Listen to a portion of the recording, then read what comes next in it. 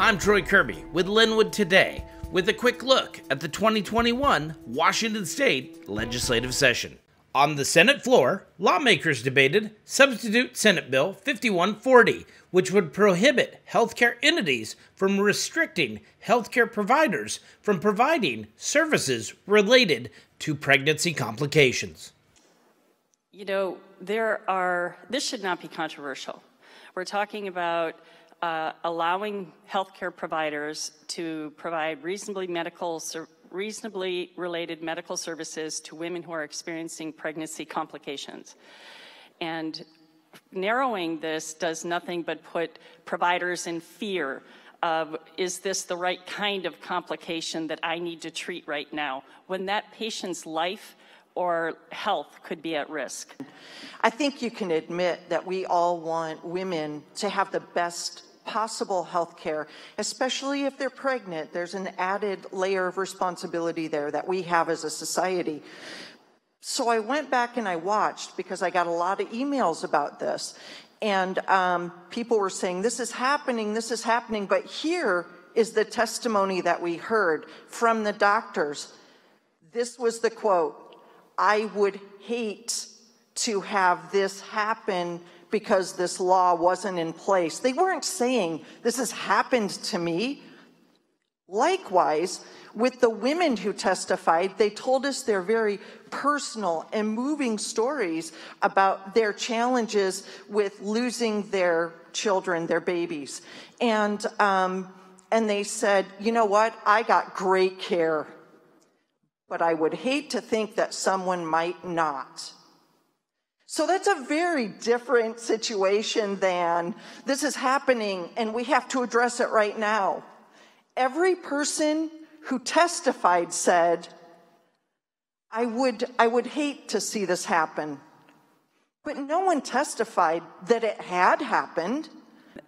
This is not a provider mandate. This bill does not require a provider to choose between their beliefs or providing medical services that they don't agree with. What this does is it protects medical providers from being from having adverse employment consequences taken against them for providing reasonably medically necessary treatment to pregnant women. Uh, Madam President, in the testimony before the uh, Senate uh, uh Healthcare and Long-Term Care Committee, um, their claim was made that there had been cases of physicians being unable uh, to practice a standard care because in the case of an ectopic pregnancy, uh, where there had been uh, cardiac activity, actually uh, where there'd been a heartbeat, that they were not allowed to operate uh, and remove the ectopic pregnancy. In fact, this is not the case. There was not any evidence presented of any cases like that uh, in the religiously oriented hospitals that this bill is aimed at, uh, they uh, would, uh, you know, save the life of the mother. Uh, to do otherwise would risk maternal hemorrhaging and malpractice, and simply doesn't happen due to the nature of the ectopic pregnancy ultimately narrows the protections that are contained in the underlying bill.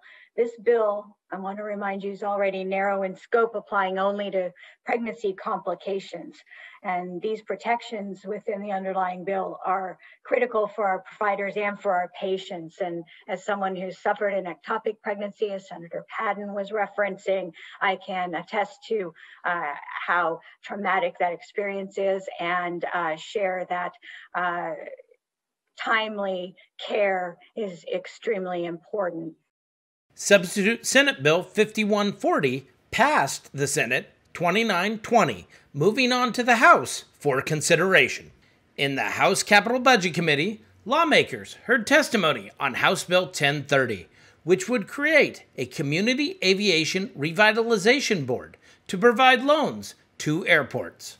Good morning. For background, the Community Aviation Revitalization Loan Program was created in the 2018 capital budget with a 5 million deposit into the public use general aviation airport loan revolving account. House Bill 1030 is sponsored by Rep Dent and codifies the Community Aviation Revitalization Loan Program. The bill creates a Community Aviation Revitalization Board and sets forth its membership, administration, powers, and duties, including making loans for general aviation improvement projects. So Ms. Robinson did a great job of explaining how the program works. Uh, actually, the program has been in, in operation now for almost two years. and, uh, but the idea of the bill is just to codify what we're doing, make sure we're in statute. And the reason being is because there could be years when we don't have money put into the account, but there's going to be money coming back from the payments. So it's important that we have a place to put that money so we can continue the program program. So how this differs from the grant program from the uh, Aviation Division is the grant program works for airport infrastructure, such as pavement and things like that. But this loan program can be used for other things, and a, a local airport could actually uh, speed up the process of a, of a program they want to do uh, with if they could borrow this money to do that. So what I mean by this money could be used for other things is it could be used for economic development.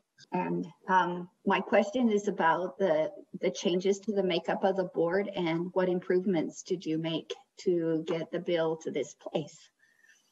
Uh, on the original bill, uh, I had put in there that uh, the the chair and the ranking members of the transportation committees would be included on the loan board, and the governor uh, uh, didn't didn't care to do it. He didn't want legislators on the board. So um, so that provision is no longer there. Thank you for watching the Daily Legislative Report by Lynnwood Today, covering the 2021 legislative session.